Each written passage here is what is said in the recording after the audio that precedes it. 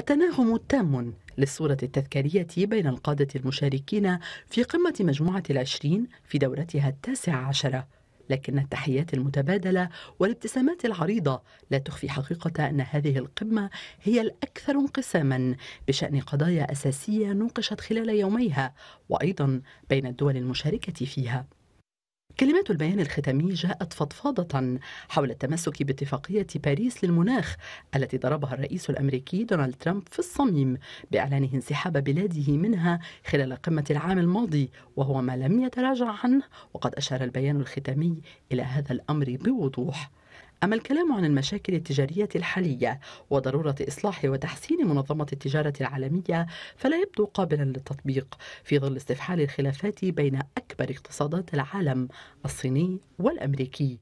فيما بدت إدانة الإرهاب والقلق المعلن في البيان الختامي بسبب تداعياته نوعا من الضرورة الأخلاقية فالدول العشرون الأغنى في العالم.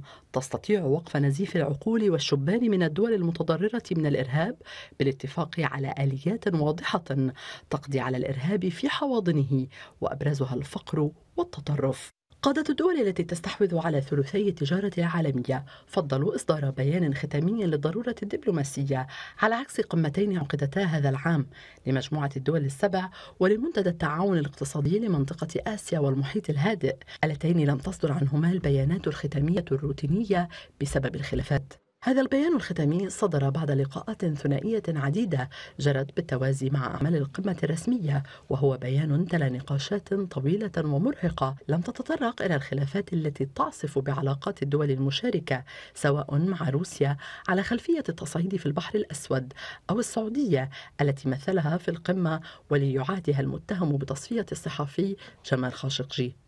هو بيان ختامي كالصورة الجماعية للذكرى بينما لا يوجد على أرض الواقع ما يدفع المراقبين للتفاؤل بتجاوز أثره حدود أدبيات مجموعة الدول العشرين وذكرى انعقادها في بوينوس آيرس.